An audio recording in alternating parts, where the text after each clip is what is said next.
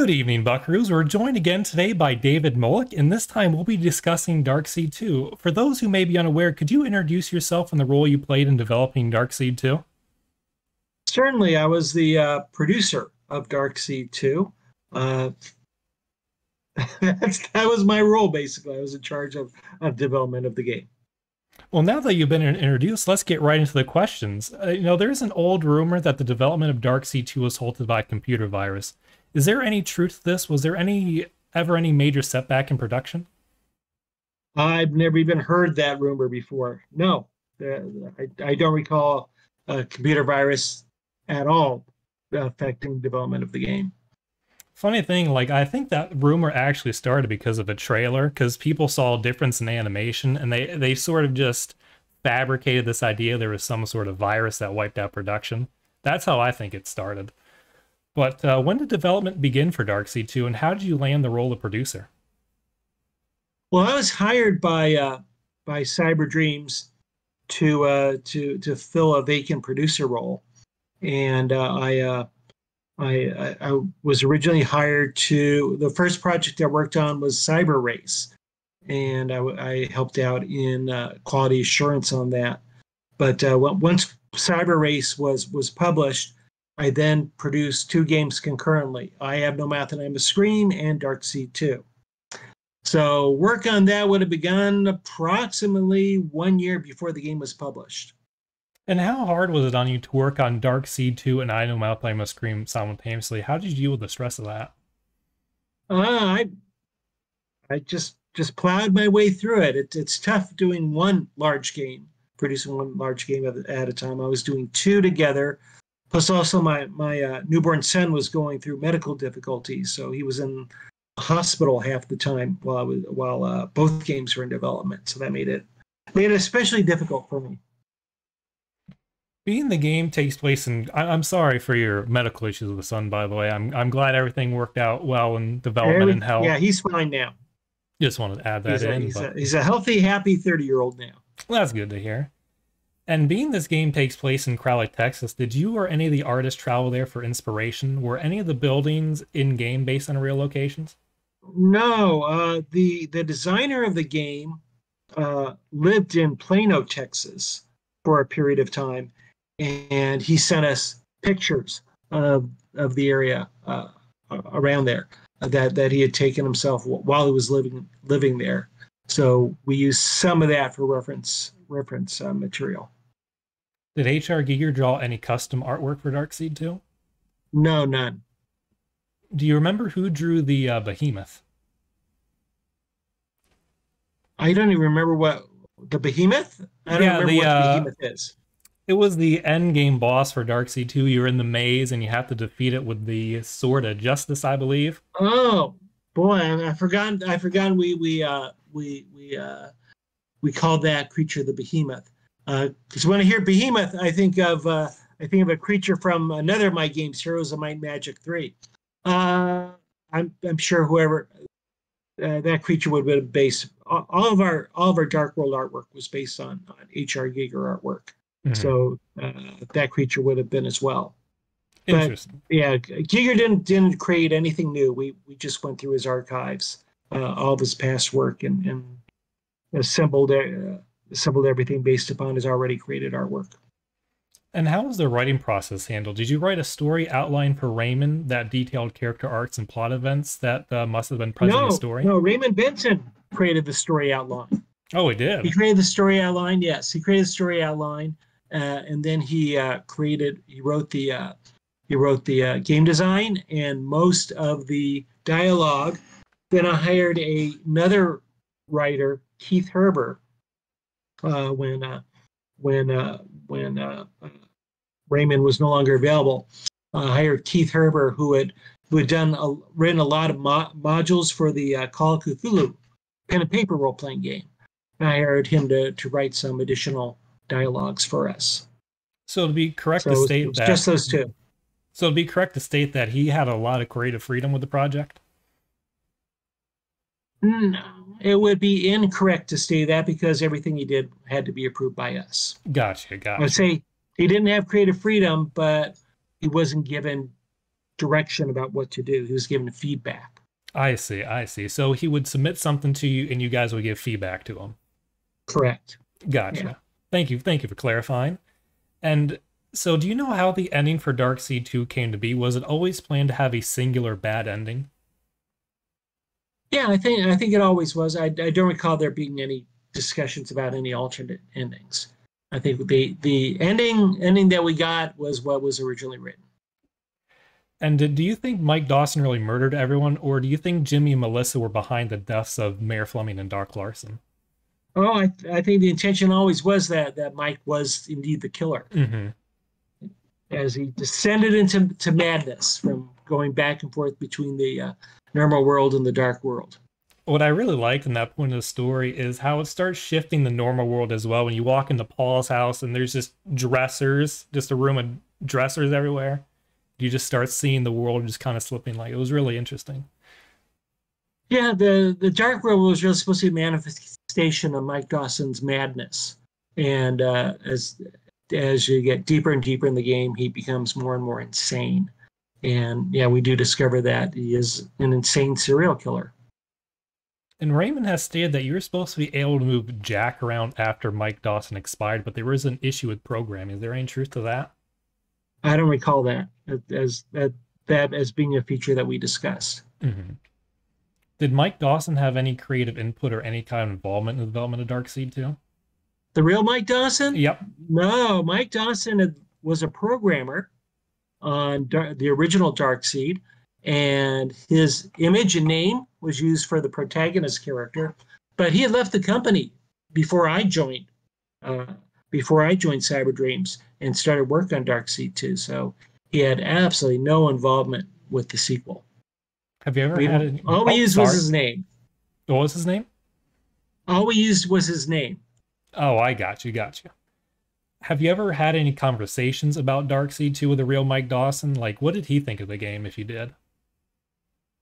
Uh, I, we, I, I don't know if he actually even played the game. Mhm. Uh, he and I worked together at the Los Angeles Film School. Uh, years later, he uh, he taught programming and I taught production and game design. Uh, and um, we we talked about it very very briefly. I think it wasn't until uh, until uh, my final final days at, at, at Los Angeles Film School that we decided to take a picture together holding the Dark Seed 2 packaging. Do But you no, we, we never really discussed the game. I'm curious, do you still have that picture? I probably do someplace, yeah. It's just it's just interesting. Like I I really do wonder what he thinks of the game, what he thought of it. Yeah, again, I, I don't think he ever played the game. And back to Dark Seed 2, you felt on that you felt that Dark Seed 2 would go on to win all the awards and become a huge hit, while I have no mouth I'm a scream to have much more modest success. What made you feel this way? I think that's an overstatement. I thought I thought uh, Dark Seed 2 would be better received than I Have No Mouth and Emma Scream. And the reason for that was that um, mainly because uh, uh, I Have No Mouth and Emma Scream was a series of short games, essentially, short little modules, whereas uh, whereas um, uh, I thought uh, Dark Seed 2 had a uh, a much more involved, grander story. Uh, I thought it had uh, more interesting puzzles. Uh, I really liked the uh, the Hall of Mirrors uh, sequence. They for going back and forth between the dark uh, the dark world and the normal world, and uh, just I, I thought it was a little bit more of an interesting story. But I proved to be wrong. I have no doubt that Scream won all the awards and and actually Dark Seed 2 got very poor reviews. Why do you think that ended up happening? Like what what were some of the what does the critics have to say about it? Um, I don't recall what exactly what the critics said. My own assessment of what went wrong with it is that uh, I kind of forgot that uh, I was making a game, and the number one rule of making a game is to be entertaining. I I was thinking more of uh, when I was creating it to, to more of a uh, more of a piece of literature, and I really wanted to portray madness in the game. Uh, as a result, I, I think I chose a voiceover actor that wasn't all that pleasant to listen to as he was ge- going uh, more and more insane. Uh, so I, I think I, I, just made a, a very poor choice in, in, voiceover actors. And I think that really covered people's perceptions of the game. Do you also maybe feel the ending could have a bit to do with as well? Because I, I feel like back in that time, having a just a solo bad ending might rub people the wrong way. No, I'm I'm very happy with the ending. Okay. Is there anything you could do would do differently if you go back in time? I originally talked to uh, talked to uh, an actor. Um, boy, his name is escaping me. It should come to me any moment. He started. He started in Battlestar Galactica. Richard. Uh, I'll have to. I'll have to look it up. Hold on a second. Uh, he was. Uh, I bet everyone listening to this is screaming out his name. Um, let me let me look at uh, Battlestar Galactica 1970 TV series. Richard Hatch. There you go. Richard Hatch. I had met him uh, because he was speaking. Uh, he was speaking at a. Uh, he was he was doing a motivational lecture at a local chamber of commerce. And when I discovered that, I went down and, and listened to him. And he kind of looked like Mike Dawson a little bit and I thought he had the right voice and he was the right age. So I talked to him about hiring him for the role, uh, and he was interested. I don't know why I didn't proceed with that. Um, I wish I had. Uh, in hindsight, I thought uh, it would given more publicity for the game, and also I, I think it would it would have been a better choice as a voiceover actor. And where would you rank Dark Seed 2 out of all the games you've worked on? Uh, let's see. I would rank it. I had to rank my games. Be Heroes of Might Magic uh, three, then uh, then Vampire the Masquerade Bloodlines, The Prisoner, DuckTales, uh, Wilderness of Survival Adventure. Probably, personally, I uh, I think Dark Seed Two would probably be six. And a little, little games are great. A little bonus question because I, I I thought about this before the interview. I, I was curious. Where would you put LA Noire? I don't think I've ever heard you talk about that game before. Oh, LA Noire. Yes, it was. It wasn't. Uh, it was. It was just called Noir. No, Noir. A shadowy thriller. Uh, I really like that game.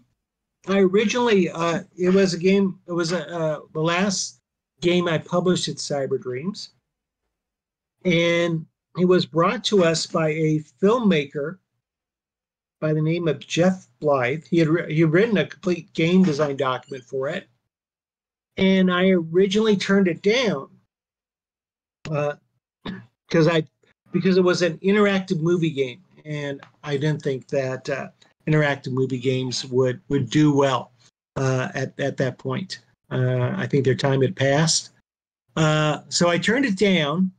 But it was my boss who uh, who, kind of pressured me into to accepting it. Uh, he wanted he wanted to go ahead and, and do it, so uh, I did. And actually, I was I was proud of how it turned out. I thought it was uh, we uh, it was it was it was an it was an interactive movie product. We did a lot of filming, all about Los Angeles, but it was also we had photographs uh, in addition to videos. Uh, so we used uh, photographs as as uh, as scenes within the games. You click on the photographs to go to different parts of the of of the city, and we filmed a lot of interesting locations. I, I thought it looked really good. Um, thought we we had a very good cast of actors.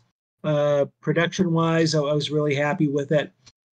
But uh, it had again, it was the problem was it was an interactive uh, interactive movie type of product, which means it had limited replayability. So I think that that that harmed its perception.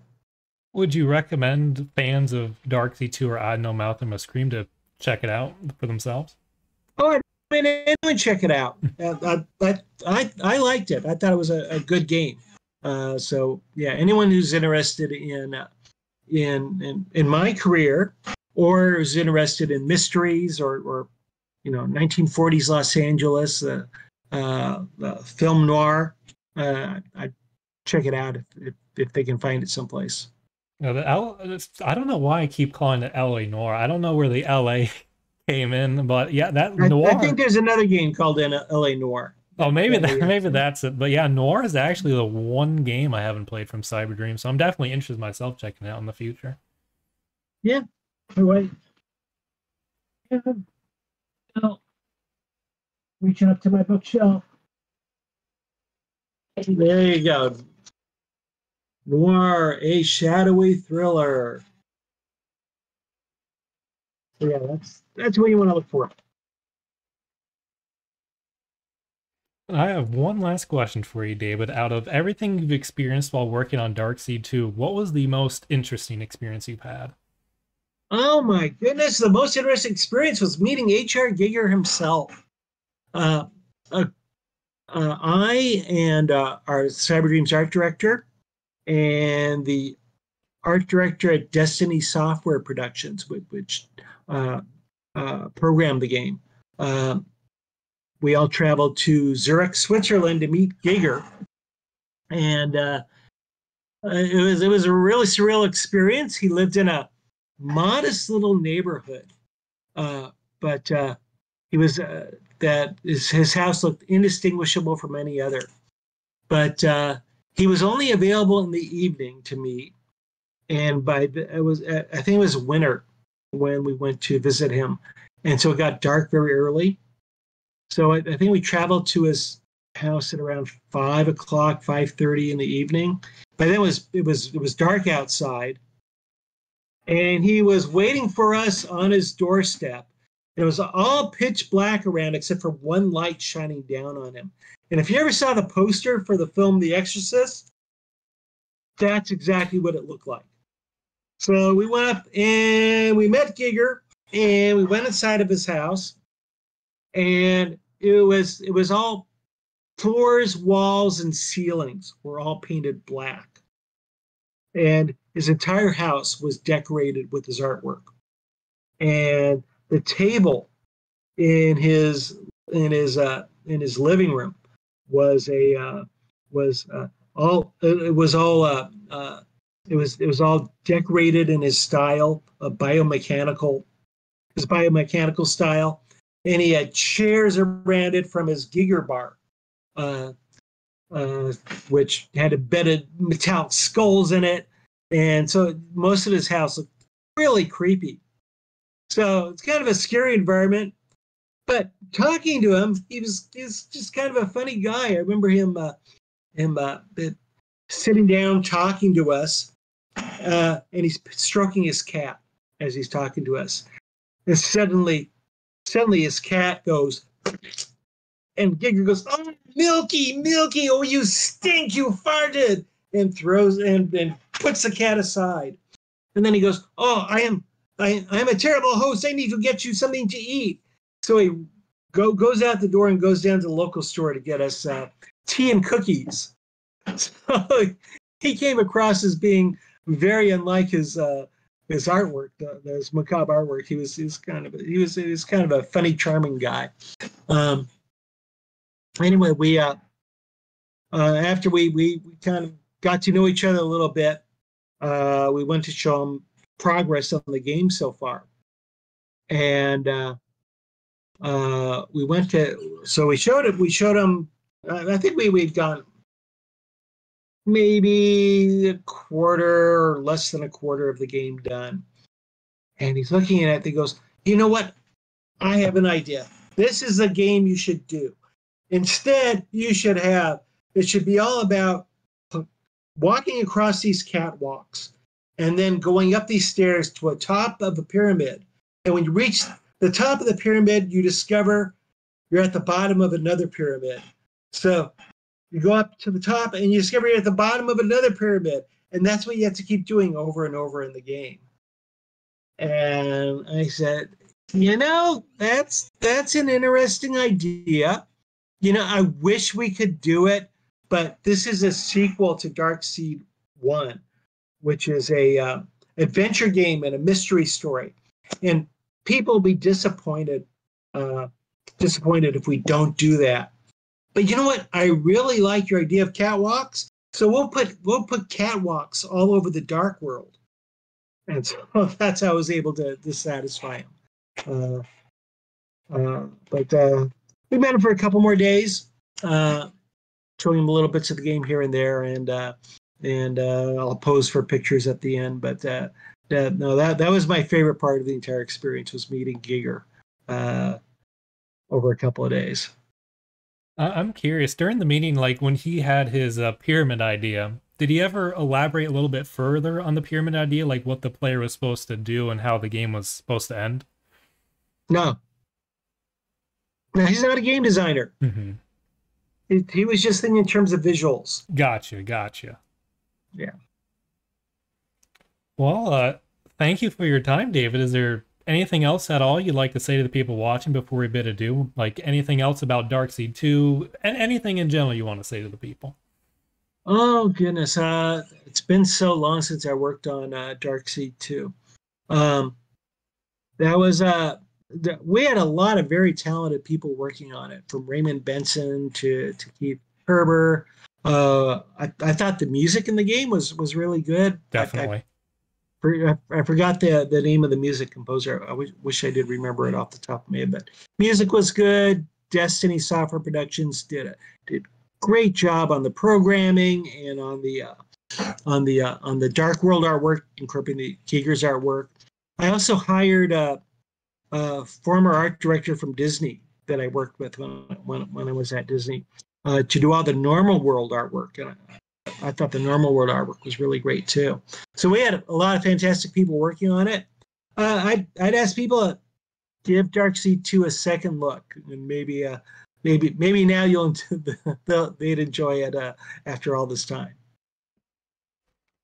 I, I definitely think they would. I, I feel like visual novels, like I, I like it's not a visual novel per se, but I, I feel like those games have more of appreciation nowadays with a lot of dialogue. So I, I, definitely, and I've seen it on YouTube as well, retrospectives, modern retrospectives on Dark Seed 2. Mm-hmm. And it seems like people are appreciating the game more as the years go by. Well, I hope so. Uh, we had a great time working on it, and I I enjoyed it while testing it. So, uh, so yeah, take a second look at it and, and see if you enjoy it now. Twenty five years later, or however long it's been. That's oh man, it's yeah, it's 25. no, no, 25, 35 years later, I think. Uh, oh, it is 35 years later almost. Yeah. Wow. And well, there you have it, folks. You know, thanks for watching. We'll catch you on the upload. Uh, farewell, everybody. Bye. Bye.